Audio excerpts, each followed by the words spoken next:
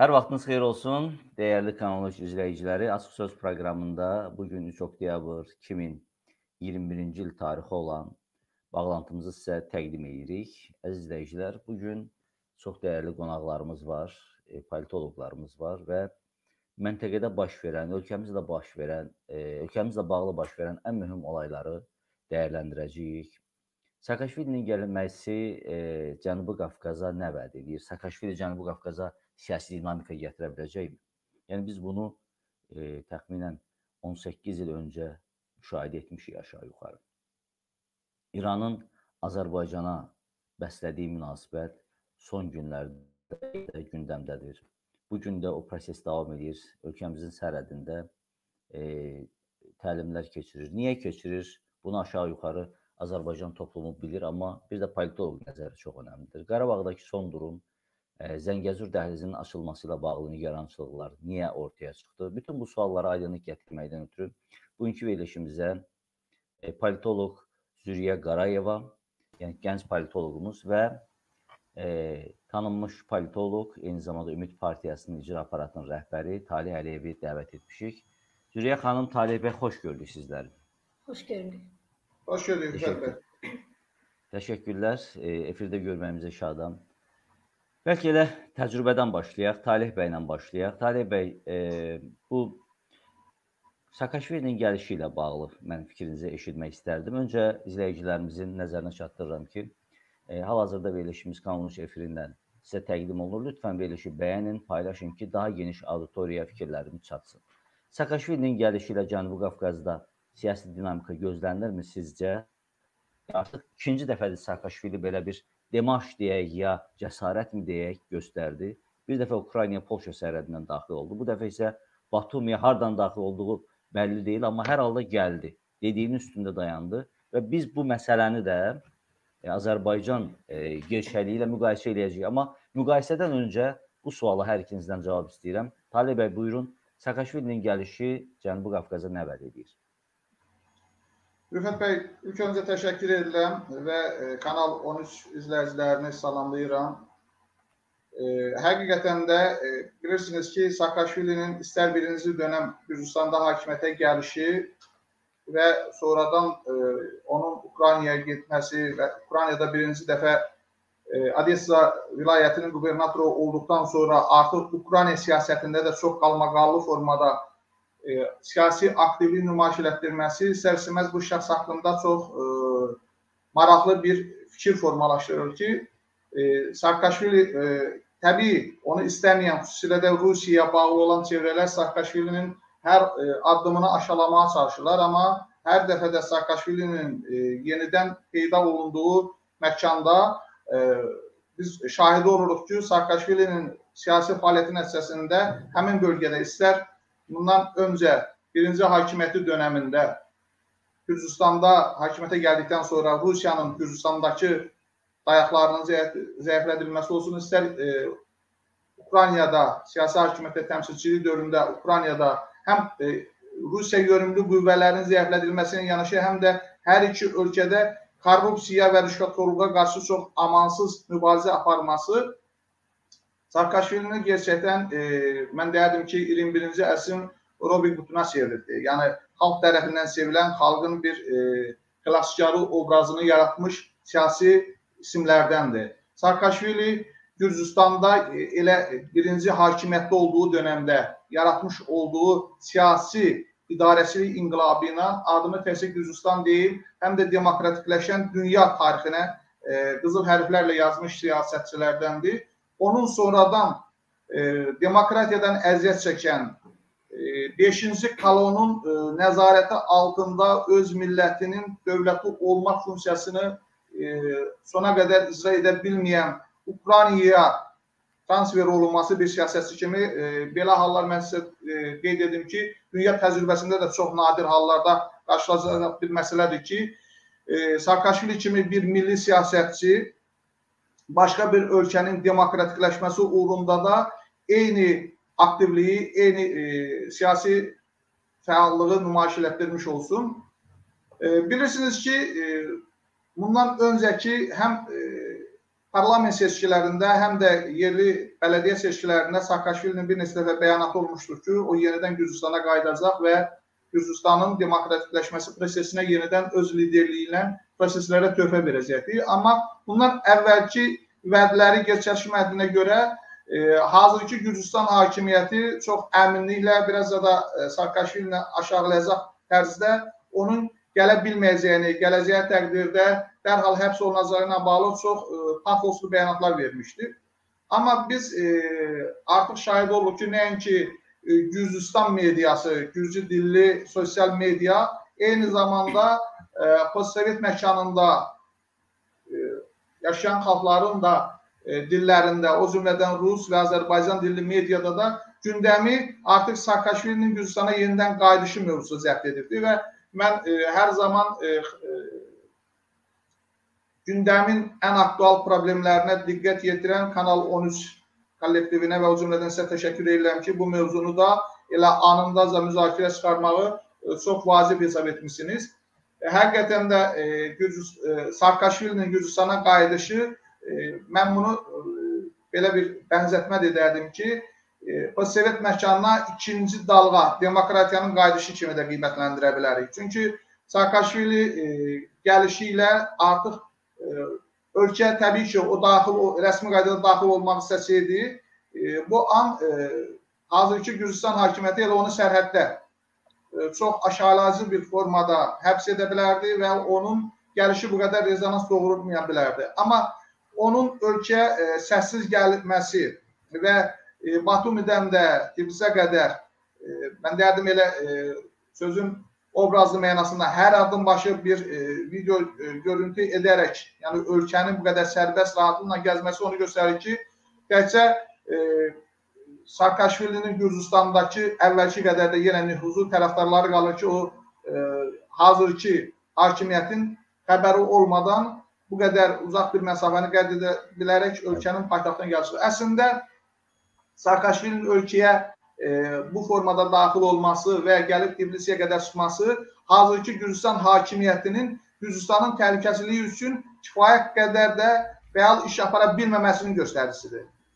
Məhz e, elə bu faktın özündən sonra hazırki hökumətin istefaya göndərilməsi mənə elə gəlir ki, daha demokratik cəmiyyətlər üçün labid bir proses idi ki, Saakashvili belə bir e, səssiz gəlişi ilə çox səsküylü bir hadisənin qalmaqalın əsasını qoydu Və bilirsiniz ki, artıq Saakashvilinin dövlət rəhbərliyində təmsil olunduğu Ukrayna ə, e, dövlətinin başçısının ə, e, mətbuat üzrə nümayəndəsi də öz fikirlərini ifadə edib ki, Saakashvilinin bu formada həbs edilməsi istər-istəməz beynəlxalq qalmaqala səbəb olacaqdır və hətta biraz da irəli gedərək Saakashvilinin Ukrayna vətəndaşı olduğuna görə e, Ukraynanın e, Gürcüstandakı səfirliyinə Saakashvilinin saxlanılması haqqında məlumatın verməməsindən də Ukrayna prezidentinin narahatçılığı ifadə olunubdur. E, bütün bunlar o deməkdir ki, Saakashvilini qarşıdakı mərhələdə təkcə Gürcüstan demokratları deyil, eyni zamanda e, dünya demokratiyasının tərəfdarları olan isimlər və dövlətlər də çox aktiv formada dəstəkləyəcəkdir. Və e, bu o deməkdir ki, artıq uzun illərdir Gürcüstanda hakimiyyəti əlində saxlayan hazırki Gürcü arzusu e, koalisiyasının və onun liderinin e, siyasi hakimiyyətində çox ciddi laxlamalar baş verəcəkdir. Təşəkkürlər Talih bəy. Təxminən eyni sualla e, Züriyə xanıma müraciət etmək istəyirəm və bir də əlavəm bundan ibarətdir ki, Saakashvili həbs olunmasaydı Gürcüstanda nələr baş verə bilərdi? E, hə, hər halda indi müvəqqəti olaraq saxlanılıb. Yəqin ki, ya deportasiyada olunma imkanı var. Çünki Ukraynanın bir dövlət rəsmisidir. Bu anlamda deyirəm. Buyurun Züriyə xanım sizə eşidək. Bəli, yəni e, elə o sonuncu sualınız üzərindən e, fikrimə başlayım ki, yəni Saakashvilinin e, həbs e, olunsa da, olunmasa da, yəni hər iki təqdirdə də bu e, Saakashvili ümumiyyətlə ölkəyə dönüşü, e, belə desək, e, onun nüfuzunu artırır. Ümumiyyətlə Saakashvilini həbs etmək e, Gürcüstan üçün böyük bir problemdir. Hər halda e, nələrlə qarşılaş qarşılaşacaq Gürcüstan bunu biz yaxın zamanda e, özümüz şahidi şahidi olacağıq, amma yəni həm e, e, belə desək Saakashvilinin həbs olunması, həm də onun e, sərbəst fəaliyyətinə şərait yaradılması ümumiyyətlə Gürcüstan üçün e, hazırki hakimiyyətdən təbii ki, söhbət gedir. E, yəni problem yaradacaq və e, Saakashvilinin Ukrayna vətəndaşı olması, Ukraynadan e, Gürcüstana e, gəlməsi və Ukraynada da müəyyən o missiyaların e, daşıyıcısı kimi çıxış etməsi. Yəni bu fonda düşünürəm ki, Saakashvilinin reytinqi burada yüksəlmiş olur və e, nəzərə alsaq ki, bir də e, Charles Michelin e, Gürcüstana bir səfəri olmuşdu və e, belə bir Michel planı deyilən bir plan e, imzalanmışdı ki, e, Gürcü hakimiyyətdə olan e, Gürcü Arzusu partiyası hansı ki onun hakimiyyətini müxalifət dairəsi qəti şəkildə e, yəni e, belə seçki saxtakarlığı yolu ilə yəni o partiyanın hakimiyyətə gəldiyini e, iddia eləyirdilər və bu baxımdan da bir e, qarşıdurma yaranmışdı və Charles Michelin e, Gürcüstana səfəri də məhz elə bu məsələ ilə bağlı oldu və e, imzalanan Michel planı da e, Michel planında da belə bir e, bəyanat e, öz əksini tapdı ki, əgər e, 42% növbəti hansı ki e, bu gün keçirilməsi planlaşdırılır bələdiyyə seçkilərində e, 42% əgər Gürcü Arzusu partiyası səs toplamasa, o zaman e, növbədən kənar parlament seçkiləri e, keçirmək öhdəliyini hakimiyyət öz üzərinə götürür. Yəni bu barədə qərar vermək öhdəliyini öz üzərinə götürür. Lakin e, sonradan seçki öncəsi e, aparılan o e, kamp kampaniyalarda, yəni rəy sorğularında artıq e, nəticələrdən hakimiyyət belə e, qərara gəldi ki, seçkilərdə 42%lik e, baryerin e, aşılması biraz hakimiyyət üçün artıq e, çətin e, daha çətindir. Yəni bu baryerin e, bu əldə olunan nəticələrlə aşılması məsələsi. Ona görə də e, yəni e, Gürcü arzusu e, bu əvvəldən imzaladığı e, məhz bu maddənin icrasından belə desək e, imtina etmiş oldu. Və e, burada da müxalifətin məhz e, bələdiyyə seçkilərindəki hədəfləri e, əsas rol oynayır. Yəni e, ölkədə növbəti parlament seçkilərinin vaxtı bildiyimiz kimi 2024-cü ildir və e, bu seçkiyə qədər e, yerli idarə etmə orqanlarında daha çox yer tutmaq planlaşdırılır. Yəni irəliyə qoyulan missiyalar içərisindədir və Gürcü arzusunun 42% səs toplamasının qarşısını almaqdır. Yəni məhz belə bir vaxtda Yəni buradan da aydın olur ki, Saakashvili hansı məqsədlə e, Gürcüstana gəlməsinin yəni məqsədi anlaşılır ki, məhz Gürcü arzusunun 42% səs e, toplamasının bu proseslərlə bir növ qarşısı alınmış olur və e, Michel planını məhz e, bu e, yollarla Michel planı e, işə salınmış ola bilər. Və digər tərəfdən də mən e, e, təbiidir ki, qərb tərəfdən E, Tiflisin bir qaynar qazana salınması planı var. Yəni Saakashvilinin mövqeyi hər halda bəllidir ki, e, qəti şəkildə Rusiyaya e, qarşı olan e, lider idi və e, ortada həm də e, Gürcüstanın bir işğal məsələsi var. E, və digər tərəfdən mən e, həm də bu məsələdə, yəni Saakashvilinin dönməsi ilə bağlı bir də bu altılıq platforma məsələsini də e, yəni nəzərdə tuta bilərəm. Çünki e, Gürcüstanın e, bizə məlumdur mina xəritələri ilə bağlı mübadilədə də və elə e, son dövrlərdə də Qaribaşvili ilə Ərdoğanın, Əliyevin görüşü məsələsi və e, ola bilər ki, bu məsələ ilə bağlı həmçinin Qərb Gürcüstanı da bir növ e, bu altılıq platformadan kənarlaşdırmağa çalışsın. Çünki bu altılıq platformada bildiyimiz kimi e, Amerika bu platformadan kənardır və e, ola bilsin ki, Qərbin elə Amerikanın özünün e, maraqlarından kənardır bu məsələ və Gürcüstanı e, bu platformadan kənar tutmağa çalışır.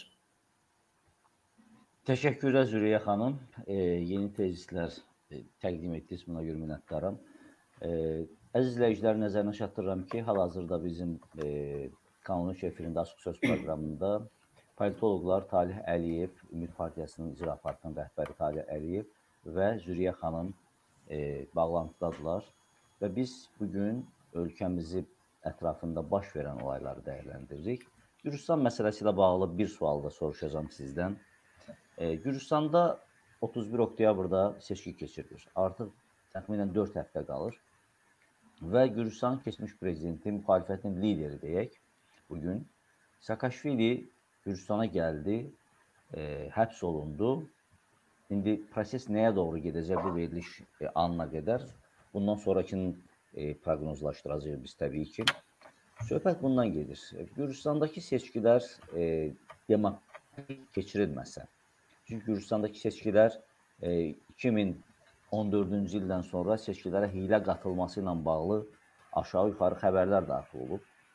Gürcüstanda seçkilər keçirilməsə Gürcüstanın nələr gözləyir və Gürcüstandakı proseslər e, aktivləşsə, bayaqki verdiyim sualdır. Bunun bizlərə nə kimi təsiri ola biləcək? Xüsusilə Azərbaycana adətən e, Cənubi Qafqazda baş verən proseslər biri-birindən e, bağlı olur. Baxmayaraq ki, Ermənistanda baş verən proseslər tamam fərqli məcrada oldu. Azərbaycan isə siyasi apatiya hökm sürür. Bax Azərbaycanı nələr gözləyir? E, Talih bəy, nə deyə bilərsiniz? Rüfət bəy, bir daha təşəkkür edirəm. E, çox təəssüflər olsun ki, e, bu gün Azərbaycanda, e, daha doğrusu Gürcüstanda baş verəcək hadisələrin e, növbəti demokratik bir inqilabi e, proseslərlə yekunlaşması Azərbaycan üçün e, yaxşı bir prezident yaradacağı e, qənaətində deyiləm. Amma orada növbəti dəfə belə deyək də, hazırki Gürcü arzusu qalib gəlmiş olacaqsa, e, bunun o mənfi e, təsirləri Azərbaycan üçün daha çox e, təsirli olacaqdır. Azərbaycana daha çox e, bundan hazırki Azərbaycan hakimiyyəti faydalana biləcək, bəhrələnə biləcək. Niyə bu baş verəcək müsbət proseslərin Azərbaycana e, təsirinin o qədər çox olmayacağı qənaətindəyəm. Bilirsiniz ki, bu gün Azərbaycan e, daha çox e, Avropa inteqrasiya prosesindən daha çox Turan inteqrasiya prosesinin içərisindədir və bu prosesdə də Azərbaycanın daha çox Türkiyə ilə siyasi əlaqələri, siyasi münasibətləri durmadan genişlənir. Bu əslində təqdir olunması bir məsələdir. E, amma e, yenə qeyd etmək istəyirəm ki, e, bu mərhələdə e, Avropanın sərhədləri e, mən deyərdim ki, artıq qırmızı e, körpüyə qədər gəlir. Artıq Azərbaycan dünyanın yenidən qütbləşməsində Avropa coğrafiyasında deyək, Turan coğrafiyasının əsas aparıcı bir ölkələrinə kimi yerini və rolunu möhkəmləndirir. Ona görə düşünmürəm ki, Gürcüstanda Saakashvili inqilabının e, gətirəcəyi yeni inqilabın siyasi təsirləri Azərbaycanda daha çox e, hiss olunacaqdır. Çünki bilirsiniz ki, elə bu ay e, Türkiyədə Türk dilli dövlətlərin e, əməkdaşlıq şurasının yeni bir formata, beynəlxalq bir təşkilata çevrilərək Türk dövlətləri təşkilatına çevrilməsi prosesinin də e, əsası qoyulacaqdır və sonuncu türk dilli dövlət olan Türkmenistanın da e, bu təşkilatın yeni statusa çevrilməsi ilə təşkilata qoşulması artıq e, 10 illərdir, bəlkə də 100 illərdir e, daha çox utopik görünən, tənqidçilər tərəfindən də daha çox tənqidə tuş gələn Turan Birliyinin artıq siyasi, hüquqi bir e, işlək mexanizmi formalaşır. Ona görə e, Azərbaycan cəmiyyətində bugünkü nəzər diqqət daha çox xüsusilə də 2-ci Qarabağ müharibəsində Azərbaycanın qazanmış olduğu e, zəfərlərdən sonra ölkəmizdə siz də çox yaxşı bilirsiniz ki, milli vətənpərvərlik ruhu e, yüksəlmiş vəziyyətdədir. E, müqayisə etsək bu baxımdan bizim üçün bu gün daha çox milli strateji hədəflər öncəlik təşkil edir. Nəinki e, belə deyək də o qərbə inteqrasiya, qərbin e, prioritetlərinin, qərbin e, aparıcı e, hədəflərinin, məqsədlərinin ölkəmizə gerçəkləşdirilməsi. Mən bu fikirləri həm də nə ilə əlaqələndirirəm? Siz bilirsiniz ki, e, Züriyə xanım da qeyd elədi, e, Avropa İttifaqı prezidentinin Şarl Mişelin eyni zamanda Gürcüstanla yanaşı Azərbaycana və Ermənistana da səfər olmuşdu və Azərbaycana olan səfər ərəfəsində də Azərbaycan həm Ermənistandan fərqli olaraq, həm də Gürcüstandan fərqli olaraq Avro inteqrasiya istiqamətində o qədər də nə olumlu mesajlar verildi, nə də e, Azərbaycan iqtidarı üzərinə yeni öhdəliklər götürmüş oldu. Bu baxımdan e, bölgəmizə e, orta perspektivdə Gürcüstanda yenidən demokratiyanın qələbə çalmasının Azərbaycan üçün böyük e, təsirlərinin, müsbət mənada təsirləri olacağı qənaətini bölüşsəm də, amma e, yenidən Gürcüstanda siyasi hakimiyyətin demokratik formada formalaşması Züleyxa xanımın e, yenə də qeyd elədiyi kimi o Mişel planındakı 42% söhbəti ki var ki, hazırki hakimiyyət həqiqətən də keçirilən nəyiş sorğularında artıq o 42%-i e, yeni bir barajın, yəni iqtidarda qalma barajının e, keçilməz bir e, ciddi səddə çevrildiyinin fərqində olduğuna görə e, artıq seçki başlamadan öncə həmən e, plandan çıxmağa çalışırdı. Və mən deyərdim ki, əslində e, Saakashvilinin bu mərhələdə Gürcüstana qayıdışı elə Mişel planına hazırki hakimiyyəti təhrik etməkdir. Siyasi e, və psixoloji təzyiqlər altında və hətta e, siz e, özünüz də qeyd elədiniz ki, Saakashvili hə, saxlanılması müvəqqəti saxlanılmalıdır. O Ukrayna kimi e, bir dövlətin rəhbərliyində təmsil olunduğuna görə onu deportasiya olunma perspektivdə gözləyir. Onu e, mən e, hesab eləmirəm ki, hazırki Gürcüstan hakimiyyəti həbsdə saxlamaq, uzun müddətli həbsdə saxlamağı üzərində e, dayana bilər. Niyə? Çünki Saakashvilinin Gürcüstanda qaldığı hər gün e, Gürcü arzusu hakimiyyətinin e, dayaqlarının, əsaslarının daha da çox e, laxladılması deməkdir. Gürcü müxalifətinin Gürcü xalqı ilə bütünləşməsi deməkdir və Gürcüstanda daha böyük dəyişikliklərə gətirib çıxara biləcək siyasi proseslərinin başlanması üçün zəmin yaratması deməkdir. Ona görə e, Saakashvilinin uzun müddətli saxlanılması ssenarisi seçiləcəksə, bu Gürcüstanda hakimiyyətin dəyişikliyinin qaçılmaz olması anlamına gələcəkdir. Amma e, ola bilər ki, çox e, qısa bir zamanda onun deportasiyasının üzərində e, dayansın hazırki hakimiyyət. Çünki Gürc e, Saakashvili dünənlərində e, Ukraynada olarkən, dünyanın başqa nöqtəsində olarkən hazırki Gürcüstan hakimiyyətini kifayət qədər çox sərt tənqid edirdi, amma onun Gürcüstanda bu qədər etki yaratması baş verməmişdi. Amma onun yenidən Gürcüstana qayıdışı və bu ağır şərtlər altında Gürcüstandakı siyasi proseslərə yenidən liderlik etmək e, əməllərini gerçəkləşdirməsi e, yenidən Gürcüstanda ciddi e, toparlanma prosesinin əsasını qoyubdur və ona görə də mən elə hesab edirəm ki, hazırki hakimiyyət daha rasional düşünərsə, onun deportasiyasının üzərində daha çox e, fokuslaşacaq ki, nəinki onu həbs edib nə desə mühakimə etmək planlarıdır. Çünki bütün bunlar Saakashvilini xalqın gözündə və beynəlxalq demokratik ictimaiyyətin gözündə böyüdəcək. Hazırki Gürcüstan hakimiyyətinin isə e, növbəti qanunsuzluqlara e, vadar edərək xalqın və beynəlxalq e, demokratik beynəlxalq ictimaiyyətin gözündən salacaqdır. Və Azərbaycana təsirləri barəsində isə mən e, qeyd elədiyim səbəblərdən e, hesab edirəm ki, yaxın e, vədə üçün o qədər də böyük e, əks sədası olmayacaqdır. E, Züleyxa xanım, Talib bəy qeyd etdi 40%lik hökuməti qurmaqdan ötürü 40%lik baraj lazımdır, amma 42%, bəli. 42%. E, 42%. E, e, deməli 1% isə seçkilərdə bariyeri aşmaq üçün kifayət edir səhv eləmirəmsə Gürcüstan seçkilərində. Ona görə Gürcüstandakı seçkilərdə bir dinamika həmişə olub. Yəni bizdən fərqli olaraq Gürcüstanda bir seçki var. Heç olmasa son 20 ildə biz bunun şahidi olmuşuq. Amma bizim üçün önəmli olan Gürcüstandakı soydaşlarımız baxımından da Gürcüstanda ikinci sayına görə xalq bizim soydaşlarımızdır.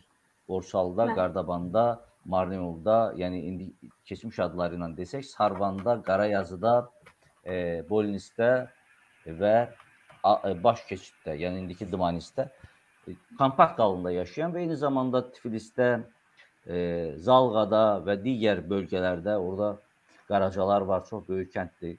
Yəni mən e, çox getmişəm Gürcüstana bu soydaşlarımızla bağlı. Ona görə və eyni zamanda təbii ki biz e, soydaşlarımızın ən çox yaşadığı bölgə də var. İndi Saqarezo rayonunun, amma əslində onun gerçək adı Qaraçökdür. Orada çoxlu soydaşlarımız yaşayır. Bu baxımdan da bizim üçün önəmlidir.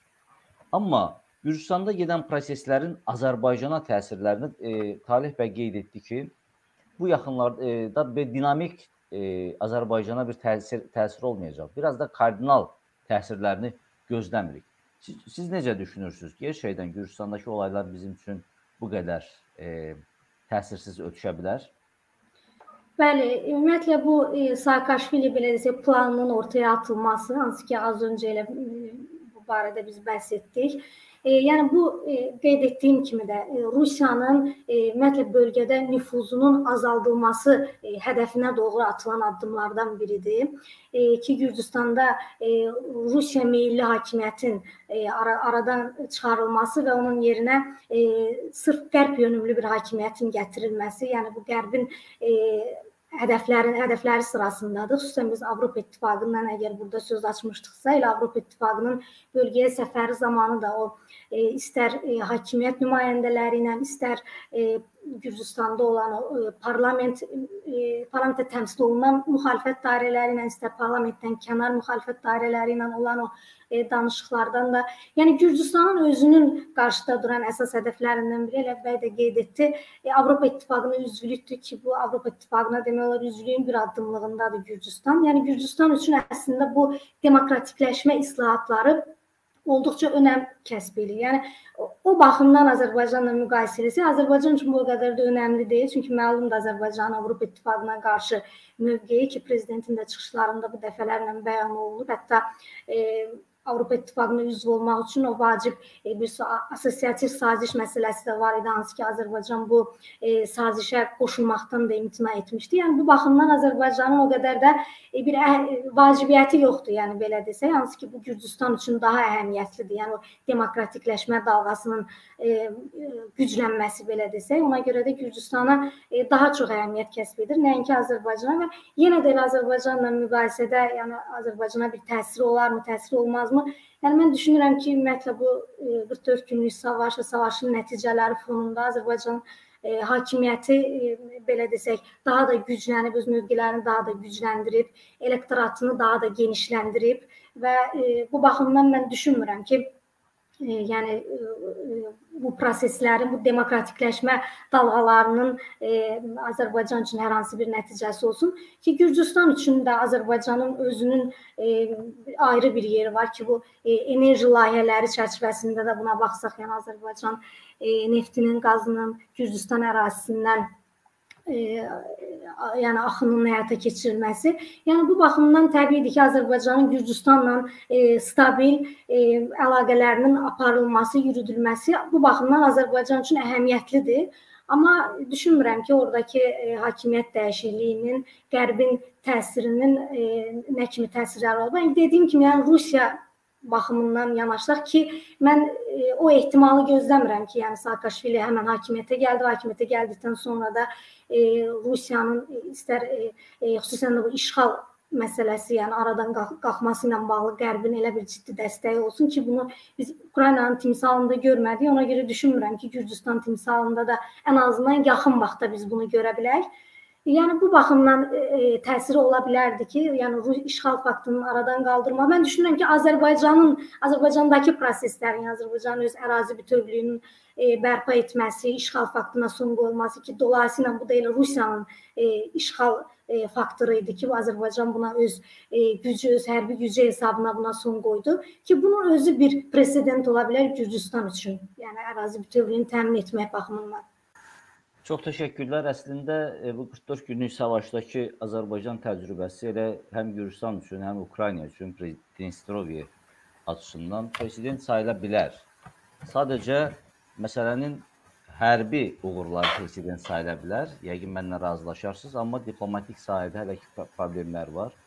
Elə o problemlərin bu gün də ağrısını çəkirik. Qarabağdakı problemlər, Rus qoşunlarının orada yerləşməsi, digər tərəfdən İranın Azərbaycanın hədələrinin e, artması. Rüfət bəy. Buyurun Talib. Suallarınızla mövzu e, yeni sualla yönləndirilməmişdən öncə mən bir məsələyə sizin e, münasibət bildirək.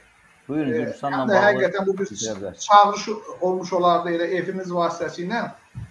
E, siz e, sual etdiniz ki, e, Züleyxa xanıma ki, e, bugün Gürcüstandakı soydaşlarımızın da seçkilərdə iştirakı baxımından e, əhəmiyyəti və e, e, bizim üçün maraqlı olan tərəfləri ilə bağlı bir aydınlıq gətirək.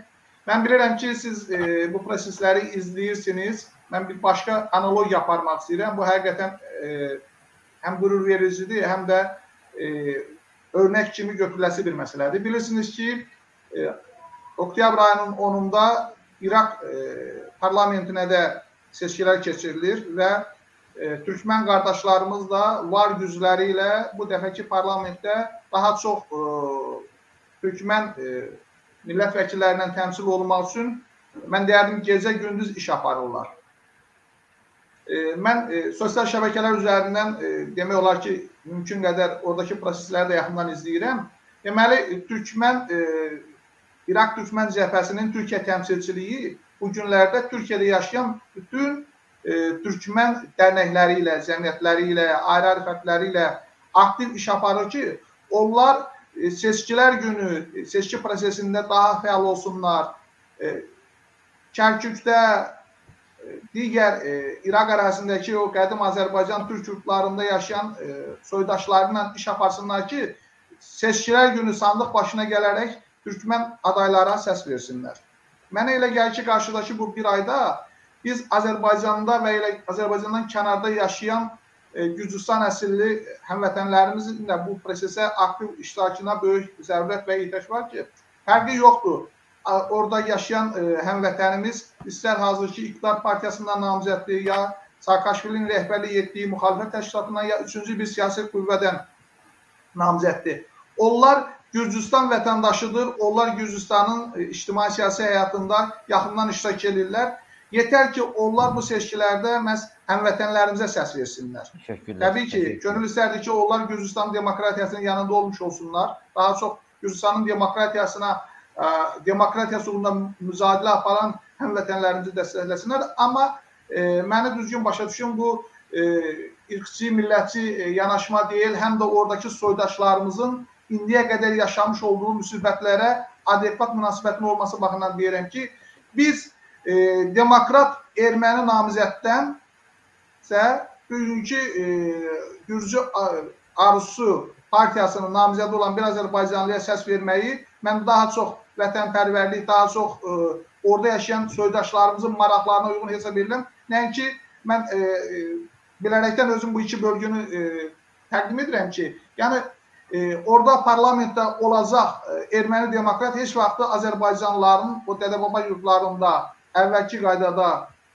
rifah və təhlükəsizlik şəraitində yaşamasını istəməzlər və çalışarlar ki, imkan düşdüksə onların oradan uzaqlaşması üçün nə gərəkirsə onları etsin. Ona görə elə efiniz vasitəsilə mən öz adımdan çağırış edirəm və mən də bilirəm ki, sizin uzun illər elə borsalı cəmiyyəti xətti ilə e, borsalı elindən olan ayrı-ayrı ziyalılarımızla birbaşa təmaslarımız nəticəsində özümüzün də e, Gürcüstanda yaşayan həmvətənlərimiz arasında kifayət qədər nüfuzumuz və çevrəniz var. Bax bu təşəbbüsün də efiniz vasitəsilə aparılmasını çox istərdim ki, həqiqətən də sizin də qeyd etdiyiniz kimi çox faydalı bir iş olardı. Deməli mən sizə bir e, qısa əhvalatı danışım. 2016-cı il seçkilərində bizim soydaşımız Əhməd İmamquliyev e, indiki Marneolda adam o, o zaman seçki barajı 50 plus 1 idi.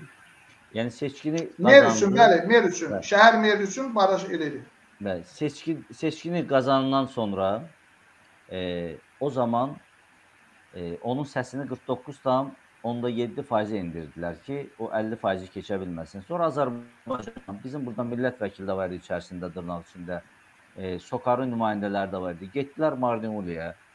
Getdilər orada e, Əhmədin səslərini parçaladılar. Orada bir sıvanı seçdilər. İndi siz deyirsiniz ki, öz soydaşımız seçilsin.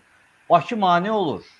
Bakı orada öz soydaşımız olan Əhmədin seçilməsinə mane oldu. Dediniz, mən o zaman e, Dorsal Cəmiyyətində sədri müavini idim və bu prosesi yaxından izləyirdim. Belə şeylər var. Çox təəssüflər olsun ki, biz elə milli dövlət olaraq bu məsələlərə e, istədiyimiz kimi, yəni milli prizmadan yanaşa bilmirik. Bax bu gün mən növbəti suala keç keçmək istəyirəm. Elə Züriyə xanımdan davam edəcəm. E, bu gün bizim soydaşlarımız dünyanın müxtəlif ölkələrində pərəm-pərəmdir, amma kompakt yaşadığı bir coğrafiya var. Bu gün Azərbaycanın İranla sərhədində fars yaşamır. Azərbaycanla İranın sərhədində bizim soydaşlarımız yaşayır. Amma İran müharibə təbliğat aparır, hərbi təlimlər keçir. Hər bir ölkənin öz ərazisində hərbi təlim keçməsi var, amma hansı anlama xidmət edir? İran avtomobilləri Ermənistan ərazisindən e, Xan kəndinə gəliblər. Özü də Armeniya Stepanakert yazaraq gəliblər qaymələrə və bununla bağlı son 20 ildə ilk dəfədir Azərbaycanda birinci şəxs prezident ya ali baş komandan etiraz edib. Bu etiraz bunları sevmir. Və bu gün də o gərginlik davam edir, amma o gərginliyin sabah daha da şiddətə çevrilməsi kimi hədəf alır? Yenə də soydaşlarımızı hədəf alır. Bütün hallarda bizim üçün soydaş faktoru çox önəmlidir. Mən mən istəyərdim ki, növbəti sualla bir politoloq kimi Züriyə xanımdan soruşum. İran və Azərbaycan arasındakı son olayları bir politoloq kimi sizin dəyərləndirməniz önəmlidir və bu proses nəyə doğru gedir? Çünki mənə də müraciət edirlər ki, savaş ola bilərmi? Çünki İranda bəzi avantüristlər deyirlər ki, məsələn mən dünən bir Gəliriyan adlı jurnalistin fikrini eşitdim. Bir Azərbaycana 1000 raket atarıq. Yəni bu qədər e, qeyri etik, bu qədər ədəbdən kənar e, hədələyici fikirləri görmürük. Amma hər halda soyuq müharibə davam edir, psixoloji müharibə davam edir və bu proses nəyə doğru gedə bilər? Züriyə xanım buyurun. Bəli, ümumiyyətlə İranın Azərbaycana qarşı mövqeyi, e, yəni bu gün baş verənlər, sərhəd xəttində baş verən təxribatlar, istər o avtomobillərin e, daxil olması məsələsi, istər hərbi təlimlərin keçirilməsi, yəni e, maraqlı bir sualdır ki, indiyə qədər nəyə görə keçirmirdi? 30 il ərzində niyə keçirmirdi? Məs Azərbaycan öz sərhəd xəttini İranla bərpa etdikdən sonra belə bir təlimlərə başladı. E, yəni bunların təbii ki, səbəblərini izah etmək mümkündür, amma e, ümumiyyətlə İranın Azərbaycana qarşı olan mövqeyi ki, tarixi kontekstdən də baxsaq, incələsək heç də təəccüblü deyil. Yəni 30 il ərzində e, həm Qarabağdakı separatçıların varlığında, həm e, Ermənistanın izolyasiya vəziyyətində qalmamasında İranın böyük payı var ki, özünün də e, e, müəyyən qədər çıxarları var idi. Yəni iqtisadi baxımdan özü hansı ki, həm Qərbdən, həm Amerika tərəfdən, həm e, İsrail tərəfdən sanksiyalar, sanksiyalarla boğulduğu bir vaxtda Ermənistanın da ona faydası yox değildi belə desək. Amma e, qarşılıqlı olaraq İranın da Ermənistanın e, belə desək bu vəziyyətdə izolyasiyada e, izolyasiya vəziyyətində qalmamasında böyük e, xidmətləri olmuşdu İranın. Elə Vətən müharibəsi dövründə də, yəni İranın e, Ermənistana e, Qarabağdakı e, separatçılara dəstəyi müxtəlif o foto şəkillər hansı ki, sosial şəbəkələrdə yayılmışdı, baxmayaraq ki, dəfələrlə onlar təksiblər e, verirdilər, amma məlum idi ki, İran e, həm öz xətti ilə, həm Rusiyanın e, göstərişləri ilə İran e, Azərbaycan ərazisinə, Azərbaycan ərazisində olan separatçılara dəstək göstərirdi. Və burada e, təbiidir İranın mövqeyi yenə dediyim kimi həm tarixi, yəni farsların tarixi türk düşmənçiliyi rolu var burada, meyarı var burada, həm e, Azərbaycanın artıq e, bu 44 günlük müharibə fonunda da öz e, gücünü, qüdrətini bərpa eləməsi və öz ərazi bütövlüyünü təmin etdikdən sonra e, yəni İranın qorxusu hər halda e, bundan ibarətdir ki, Azərbaycan e, Türkiyə ilə də e, xüsusən bu cür birlikdən sonra, bu cür hərbi ittifaqdan sonra Azərbaycan artıq regionda güclü bir dövlətə çevrilə bilər və e, bu gün e, 30 il əvvəlki itirdiyi torpaqları düşünürsə, sabah artıq e, daha öncəki tarixdə itirdiyi tarixi torpaqlarına e, üzünü döndərə bilər. Yəni bu təb təbii ki, bir də bu təhdid məsələsi var. Bir də ortaya atdığı İsrail məsələsi var. Yəni bu da bir e, gülüş doğurur. Çünki İranın ümumiyyətlə İsraillə olan əgər özünün e, deyək ki, məsələn İranın nüvə alimi e, məlum oldu ki, İsrail kəşfiyyatı tərəfindən e, öldürülmüşdü. Yəni onda İran nəyə görə İsrailə cavab vermirdi?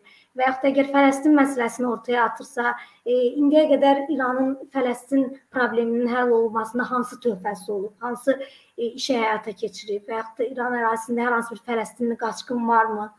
Yəni bu məsələ də burada heç bir meyar təşkil eləmir. Və yaxud da din baxımından əgər yanaşırsa, E, bu da indi bəlkə bir şablon fikir olacaq, amma e, nəyə görə? Yəni məlumdur ki, ermənilər Azərbaycan torpağında ən azından o müqəddəs ibadətgah yerlərinə nə cür təhqirli mövqe ilə e, yanaşıblar.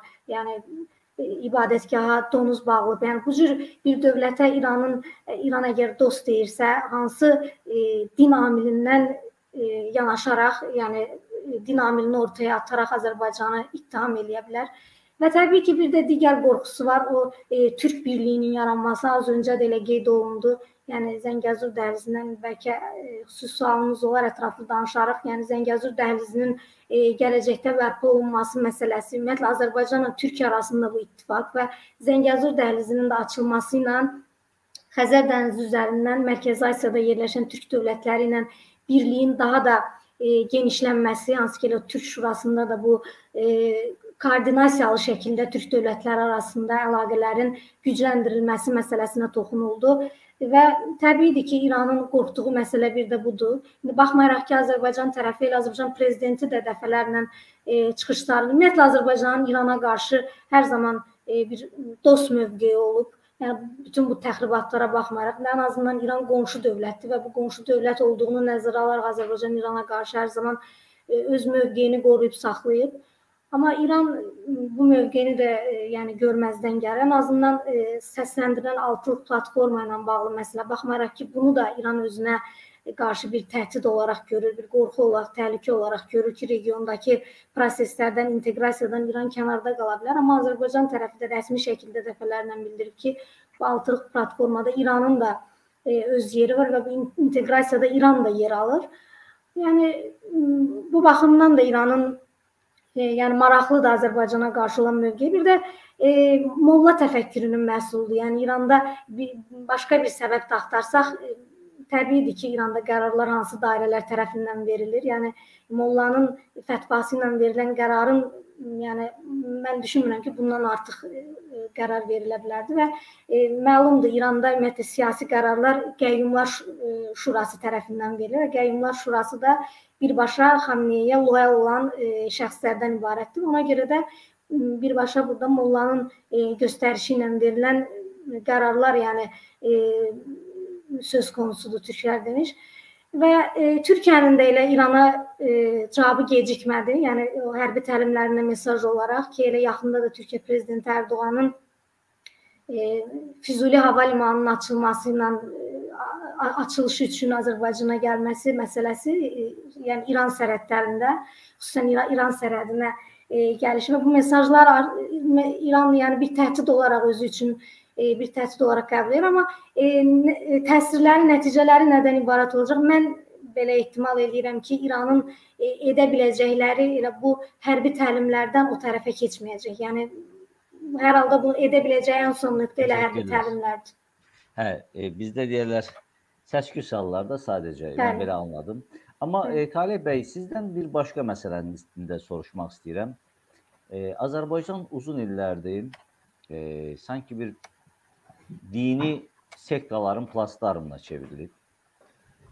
Və xüsusilə İranın burada bu məsələdə rolu böyükdür. Bu olaylar necə düşünürsüz?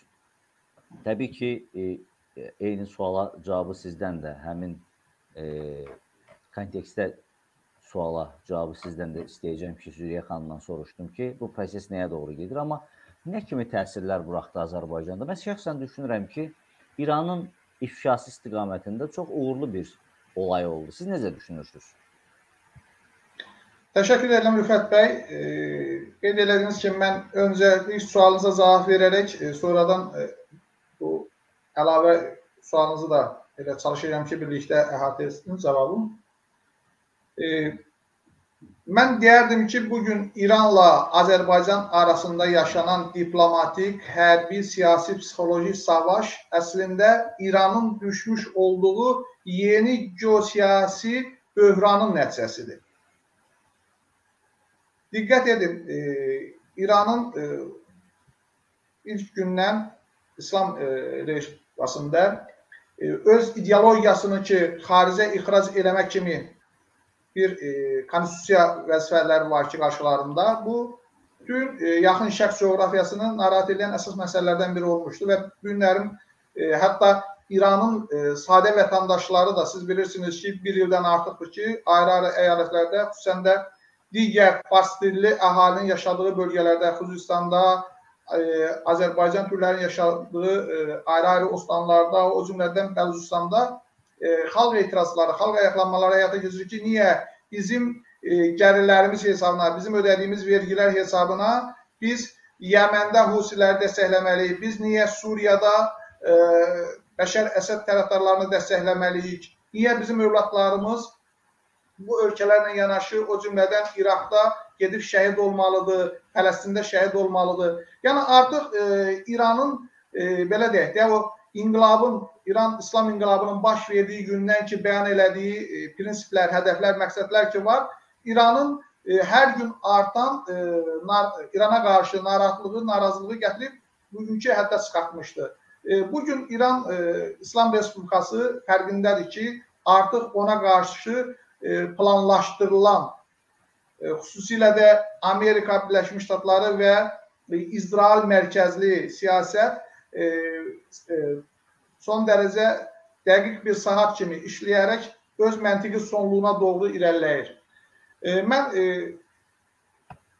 Əfqanistanda 20 illik Amerika qəyyumluğundan sonra 20 gündə çəkmədən Talibanın yenidən hakimiyyətə gəlişini hesab edirəm ki, xüsusilə də yaxın şərqdə və o cümlədən İran ətrafında baş verəcək daha dərin fundamental proseslərə hesablanmış bir dəyişiklik idi. Biz bunu yəqin ki, irəliləyən zamanda da görəcəyik. O ki qaldı, e, mən qısaca bir e, kesit eləmək istəyirəm. İranın xüsusilə də Azərbaycanlıların yaşadığı və Azərbaycan Respublikası ilə həmsərhəd ərazilərdə hərbi təlimlərin keçirilməsinə e, bu təlimlər yalnız və yalnız Azərbaycana qarşı hərbi, psixoloji və siyasi diplomatik təzyiqlərdən irəli gedə biləcək bir hərəkət deyil.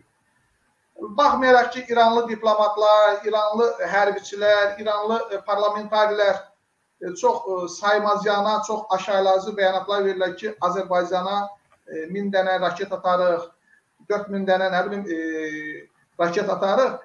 Onlar özü də çox yaxşı bilir ki, Azərbaycan onlar bir dənə də raket ata bilməz.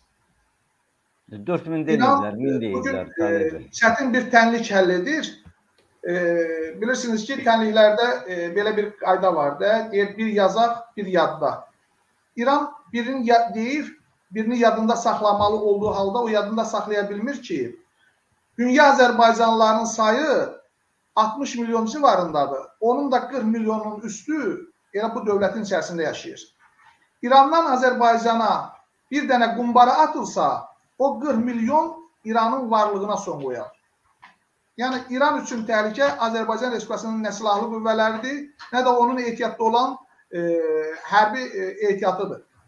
İranın Azərbaycana qarşı edəcəyi hərbi təyinatlı ilk tə, e, təxribatın ardından Təbriz, Ərdəbil və o cümlədən adlarını çəkmədiyim onlarla Azərbaycan şəhəri hazırki rejimin e, qarşısında canlı sipər olacaq insanlardır. Azərbaycan Respublikasının gücü Azərbaycan millətidir ki, onun da əsasını e, bizim güney qoşunumuzda yaşayan 40 milyonlu bacı və qardaşlarımız təşkil edir. Ona görə mən düşünmürəm ki, İranın Azərbaycana qarşı e, siyasi, diplomatik və hərbi psixoloji təhdidləri aktiv hərbi fazaya keçə bilər. Amma e, qeyd elədiyim kimi, xüsusən siz də bilirsiniz ki, son e, günlər e, İsrail dövləti bölgədə çox reallaşıbdır. E, Bəhreynlə dostluq və əlaqələrinin bərpa olunması, Sudanla, Mərakeşlə, yəni digər ərəb dövlətləri ilə İsrail dövləti arasında e, münasibətlərin normallaşması istər-istəməz İranı ciddidən e, narahat edir. Və e, qeyd elədiyim kimi inqilabın ki şüarlarını ki bu gün də İran İslam Respublikası həyata keçirmək istəyir. Yaxın Şərqin həm e, siyasi elitasını, yəni o ölkələrdəki e, belə deyək də e, sünni ərəblər hakimiyyətdədir. Yəmən olsun, e, ya nə bilim e, digər e, ərazilərdə olsun da e, or və e, Suriyada Şia azlıq günləri e, Suriyanı e, diktatura vəziyyətində, hətta diktatura yox bir quldur e, iqtidar vəziyyətində idarə edir. Oradakı o quldur e, Bəşər Əsədi də hakimiyyətdə kim saxlayır? İran həm e, canlı qüvvəsi ilə, həm maddi texniki dəstəyi ilə. Yəni bax Dün bu e, İranın e, özü üçün, öz dövlətinin milli və təhlükəsizlik maraqları baxımından vacib hesab elədiyi ki, e, siyasi və strateji qərarlar qəbul edilir və onu həyata keçirir. Bu dövlətdə İranın özünün dövlət kimi varlığına və müstəqilliyinə olan ciddi təhdiddir. O ki qaldı, siz çox doğru qeyd elədiniz ki, e, son baş verən proseslər e, əslində İranı ifşa elədi. Bilirsiniz Rüfət bəy, e, Azərbaycan Respublikasının müstəqilliyini elan etdiyi gündən İranın Azərbaycana qarşı olan münasibətində dostluq, mehriban qonşuluq sözləri harda işlədilirsə, orada qeyri-səmimiyyət olub. Orada saxtalıq olub. Orada e, ikili standart olub. İran nə zaman ki Azərbaycanla təhdid dilində, nə zaman ki Azərbaycanla şantaj dilində danışır, orada İranın səmimiyyəti olub. İranın e, gerçək üzü olur, gerçək mahiyyəti olur. Çünki İran e, hazırki İran hakimiyyəti fərqindədir ki, Azərbaycan Respublikası gücləndiksə, Azərbaycan dövləti e, bölgədə güclü bir dövlətə çevrildiksə, İran dövləti e, qardan düzəldilmiş şaxta baba kimi günəşin çıxması ilə əriyəcək. İran dövlətinin əriməsinin də səbəbkarı olacaq günəş elə Azərbaycan Respublikasıdır. Çünki Azərbaycan heç nə etmədən öz yolu ilə yürüdüksə, istər-istəməz oradakı 40 milyon Azərbaycan türləri üçün bir stimul olacaqdır. Bir e, örnek olacaqdır, nümunə olacaqdır. Ona görə e, bu günlərim Azərbaycanda da sadə insanlarımızın e, Əhl-i Beyt aşiqlərinin, İmam Hüseyin aşiqlərinin, e, Həzrəti Zəhra aşiqlərinin səmimi hisslərindən, duyğularından istifadə edərək onları Azərbaycan dövlətçiliyinə qarşı, onları öz vətənlərinə, öz millətlərinə qarşı e, körüklənməsi əslində İranın Azərbaycana edə biləcəyi ən son pisliklərdir və bu gün onların üzə çıxması gerçəkdən Azərbaycanla İran arasında gərəkilən gerçək münasibətlərinin formalaşması üçün çox vacibdir. Çünki e, bizim e, sadə insanlarımız da, bizim ziyalılarımız da, bizim siyasətçilərimiz də, e, tüm peşə sahiblərimiz bilməlidir ki, İran dövləti Azərbaycanın varlığı ilə heç bir halda barışmayıb və barışmaq fikrindədir deyə sadəcə olaraq bu gün e, beynəlxalq hüquq, beynəlxalq şərtlər və e, siyasi konjunktura İran İslam Respublikası e, hakimiyyətini vadar edir ki, Azərbaycanla üzdə dost, arxada isə bax bu gerçək düşmən əməllərini həyata keçirmiş olsun. Niyə gerçək düşmən əməllər deyirəm? Bu gün əgər e, yenə qeyd edirəm, bizim inanclı, imanlı insanlarımız bugün e, öz dövlətlərini deyil e, və e, Züriyə xanım da çox doğru qeyd elədi. E, dünən ermənilər e, çəkir, e, təqdir eləyirdilər Azərbaycan insanını ki, biz Ağdam məscidində donu saxlayırıq. İran 70-ci illərdə Avropa dəyərləri ilə, qərb dəyərləri ilə fərqli bir cəmiyyət quranda Ağdam məscidində Allahsız Sovet cəmiyyətinin ən tüğyan elədiyi dövrlərdə Ağdam məscidində e, imamlarımıza təziyə verilirdi. Ağdam məscidində Əhl-i aşiqləri öz e, imanlarını, öz inanclarını yaşadırdılar. İndi necə oldu? İslam inqilabı baş verdi. İranda Əhl-i aşiqləri, e, Şiəliyin qalası hesab olunan bu ölkədə bir Şiə məscidinə ermənilər gətirir donuz bağlayır. İranlılar da gəlir, mən onlara e, güneylilərimiz deyə bilmərəm, İranlılar da onlar və gəlir həmən donuzun bağlandığı məscidin sağındakı, solundakı e, yaraşıqlı Ağdam evlərini sökür aparır və o don, e, e, məsciddə baş verənləri görməzdən gəlir. Budurmu Şiə təəssübkeşliyi, budurmu Əhl-i Beyt aşiqliyi, budurmu İmam e, İmam Hüseyin İslam sevgisi, Həzrət acı reallığıdır Talih bəy, haqlısınız. İslam dünyasının. E, Yəni ona görə ki, mən elə efimizdən istifadə edir. Bir cümlədən onu demək istəyirəm ki, e, hörmətli e, inanclı bacı qardaşlarımız, Əhl-i Beyt aşiqləri, Hüseynçilər, Zeynəbçilər, sizin imanınız pak, yolunuz açıq olsun. Amma heç bir halda siz e, Allaha, inam, e, imama, peyğəmbərə olan sevginizi hər hansı milli maraqları olan şovinist bir hakimiyyətin siyasi maraqlarına xidmət edəcək qədər sadəlövhcəsinə davranmayın. Sizin Allah sevginiz, sizin iman sev imam sevginiz, sizin peyğəmbər Quran sevginiz, sizin sadə və səmimi inamınız kimlərinsə siyasi aləti kimi dövlətinizə qarşı, millətinizə qarşı istifadə olunmamalıdır. Çox təəssüf ki, e, Züriyə xanımla bağlantımız kəsildi, amma mən e, istəyərdim ki, son olaraq bu Zəngəzur məsələsinə onun da fikrini eşidək. Hər halda e, Talib bəy, Züriyə xanım daxil olunca siz Zəngəzur dəhlizi ilə bağlı, çünki onun zamanı çox qalıb. Qısa olaraq sizin fikrinizi eşidək. İranın Azərbaycana e, bu xəşmi deyək ya e, belə deyək, Çini mi deyək, onlardan biri də faktor kimi Zəngəzur dəhlizinin açılmasını göstərirlər. Bayaq Züriyə xanım qeyd etdi. Siz nə düşünürsüz? E, Zəngəzur dəhlizinin açılması nə qədər realdır? Nə qədər mümkündür bu? E, Rüfət bəy, təşəkkür edirəm. E, Züriyə xanım qoşularkən mən e, çalışacağam ki, fikrimi daha yığzam formada ifadə edeyim. Amma o evrimizə gələnə qədər elə biləm ki, biraz mümkün qədər rahat danışa bilərik də. Buyurun, buyurun. Efirimizə gəl. Bizim verilişimizin təxminən vaxtına 5-6 dəqiqə qalıb, amma 1-2-3 dəqiqə fikrinizi yekunlaşdıra bilərsiniz. Həmən Züriyə xanım gələrkən, e, hə, dönür. Artıq Züriyə xanım da gəlir. mən hesab edirəm ki, e, Zəngəzur dəhlizinin e, istifadəyə verilməsi realdır, amma bu gün üçün olmasa da e, bilirsiniz ki, artıq müxtəlif e, istiqamətlərdə həm diplomatik, həm də xalq e, diplomatiyası istiqamətində Azərbaycanla Ermənistan arasında münasibətlərin normallaşması istiqamətində müəyyən işlər gedir və bu münasibətlər e, iki dövlət arasında sülh sazişinin imzalanması ilə yekunlaşacağı günə qədər və yekunlaşdığı gündən Zəngəzur dəhlizinin də açılması qaçılmazdır. E, təbii ki, İran fərqindədir ki, Zəngəzur dəhlizinin açılması onun Ermənistanla olan münasibətlərini kifayət qədər azaldacaqdır. Çünki Zəngəzur dəhlizi açıldıqdan sonra bu beynəlxalq bir magistral olacaqdır və o beynəlxalq magistralı Ermənistan tərəfi istədiyi vaxtı təzyiq və təsir e, vasitəsi kimi istifadə edə bilməyəcəkdir.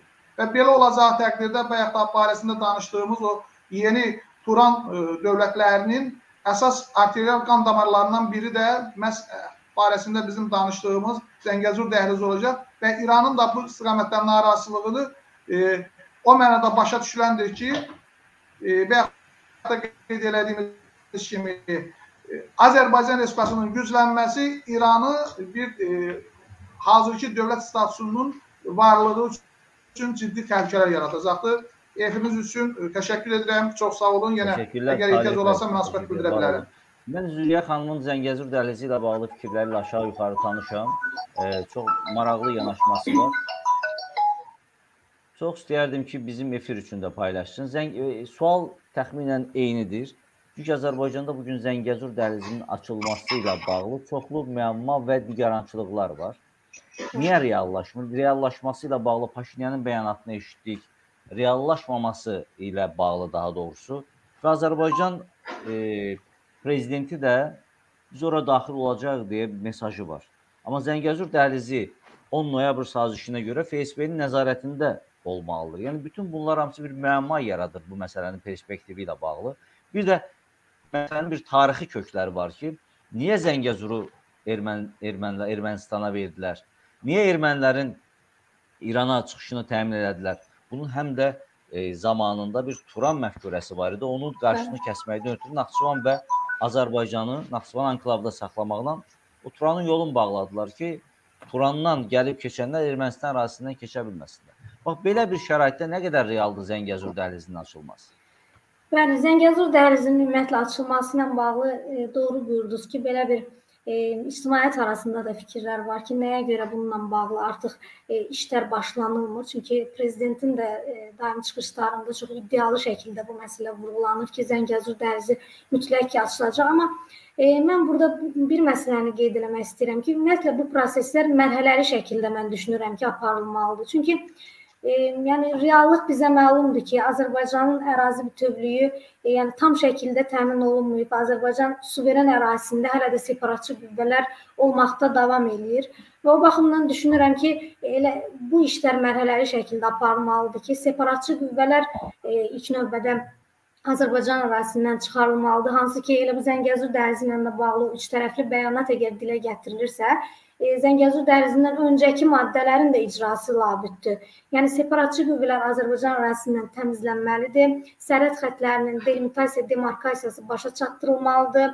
Yəni e, tam şəkildə, yəni sərhəd xəttləri müəyyənləşdirilməlidir. Bu təxribatlara son qoyulmalıdır və təxribatların öz mənbəyini götürdüyü o e, beləsə nöqtələr daha da e, təhlükəsizliyi gücləndirilməlidir. Laçın dəhlizi ilə bağlı olan o müəmma aradan qalxmalıdır. Yəni e, Azərbaycanın e, ora nəzarət etməsi və hal-hazırda bu nəzarətsizlik ucbatından baş verən təxribatlar kimi məsələlər, yəni bunlar mərhələli şəkildə icra olunmalıdır. Nəticə etibarı ilə bir münaqişə baş verir və tərəflər arasında Azərbaycan qalib gəlib bu münaqişədə və tərəflər arasında sülh müqaviləsi imzalanmalıdır. Yəni bu tarixən də belə olub. Səhv etmirəmsə SSR və Yaponiya arasında olan müharibə istisna olmaqla elə bir müharibə yoxdur ki, sülh müqaviləsi ilə nəticələnməsin. Ona görə də e, bir sülh müqaviləsi imzalanmalıdır tərəflər arasında. Yəni nə qədər ki, qarşı tərəf bizim ərazi bütövlüyümüzə e, bütövlüyümüzü tanımırsa, müharibənin nəticələrini təkzib eləyirsə, e, yəni Azərbaycanın ərazisinə qarşı iddiası varsa, bu məsələlərdə ortaq olan Türkiyəyə qarşı ərazi iddiası varsa, soyqırım iddiası varsa, hansı şəkildə biz e, Zəngəzur dəhlizinin açılması, yəni əlaqələrin bərpa olunması deməkdir, sərhəd xəttlərinin açılması deməkdir, inteqrasiya deməkdir. Yəni bir dövlət əgər bizim ərazimizə hər də iddiası varsa, biz o dövlətlə necə inteqrasiyanı gücləndirə bilərik? Ona görə də birinci bu proseslərin mərhələli şəkildə icra olunması lazımdır ki, yəni ona görə də e, cənab Ərdoğan təsadüfi deyildi ki, dedi bəlli addımların atılmasından sonra biz sülh çağırışlarına, Paşinyanın sülh çağırışlarına cavab verə bilərik. Yəni bəlli addımlar da nədən ibarətdir? Həmin o vurğuladığım məsələlərdir ki, bu ərazi məsələsi tamamilə, yəni biz bunu hərbi gücümüzlə təmin etmişik. Artıq bir hüquqi formada da, bir sülh müqaviləsi formasında da bu öz təsbitini tapmalıdır və bu təxribatlara son qoyulmalıdır. Ondan sonra artıq sərhəd xəttlərinin açılması, inteqrasiya məsələsi, Zəngəzur dəhlizinin perspektivləri artıq var. Yəni bu məsələlər icra olunduqdan sonra ki Ermənistanın da buna imtina etmək haqqı yoxdur. Yəni